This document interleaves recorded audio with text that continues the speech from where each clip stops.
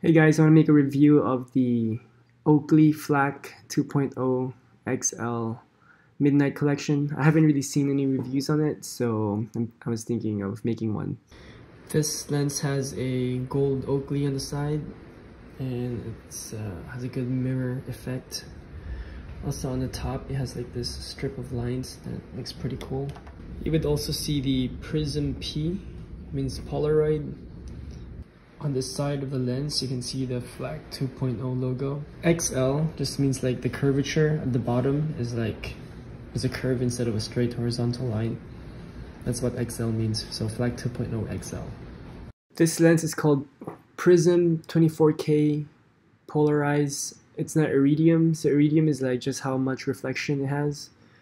Uh, for me, I had LASIK surgery actually, so when I was wearing like an iridium lens, I feel like my eyes get tired more faster.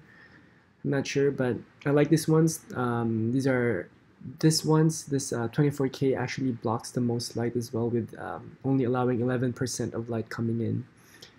So yeah, looks good. I would recommend these glasses. If you are interested in buying this, I think the best way to buy this is through going to an outlet store and from there you can order it online. Usually they can give you a 30 uh, $30 discount when you buy it uh, full price. So I got mine for 190 total. That includes tax and everything with the $30 discount.